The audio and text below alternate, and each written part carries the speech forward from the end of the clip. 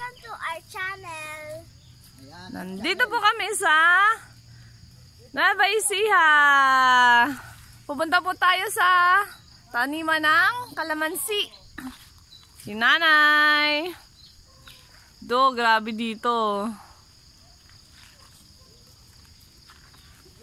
Tapos para siyang liblib na lugar. Para siyang mga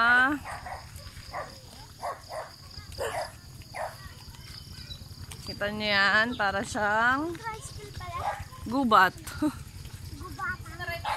Para siyang kagubatan. Tapos pasikat pa lang yung araw dito. Punta po tayo dito sa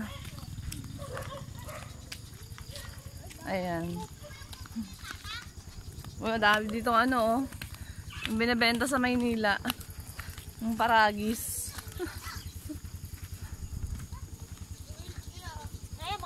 Eh, Kaya mga nga, oh. Ito po.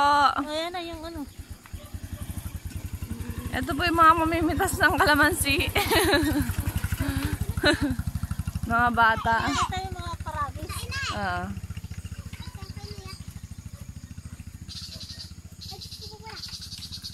Ko susi niyan.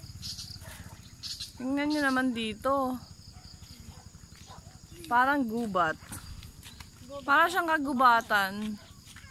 Na maraming mga nakatanim doon. May mga nakatanim naman doon na upo.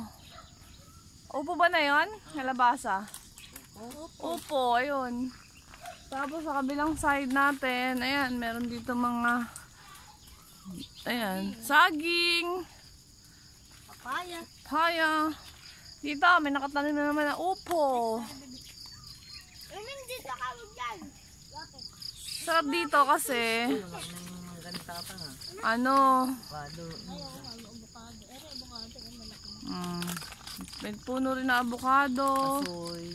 Marami dito mga puno guys.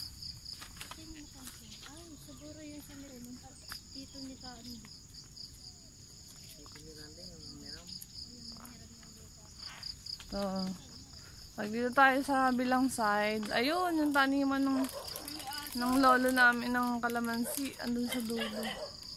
Oo. Kalamansi. Ay, kalamansi. Aso. Ang dami siyang tanim na kalamansi doon. Ay, ako. Dami. Mangunguha tayo ng kalamansi. papaya pag matanda na. Ito, may saging pa dito yung lolo namin. Saging, papaya.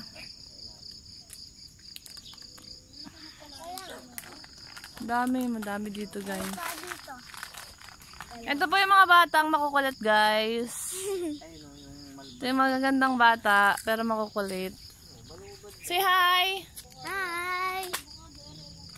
parang balubad. Tapos mamaya po, ah, mangunguha tayo ng kalamansi. Doon po tayo pupunta. Doon. Malayo na yon. Papa yun ah. Ay, sumisikat po ang araw kamo. Yan. As you can see, ma, gubat dito. Gubat talaga. Pag sikat ng araw, ba't paano?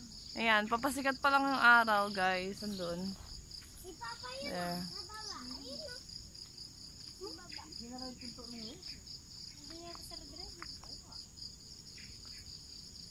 So, mamaya pag pupunta po kami dun sa may kalamansian, Kasi kalamansi, wala naman.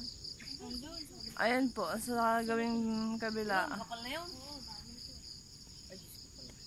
Pagpunta po natin doon, ah, tingnan po natin kung Aso. paano mamitas naman po ng kalamansi. Kita po pa maya-maya.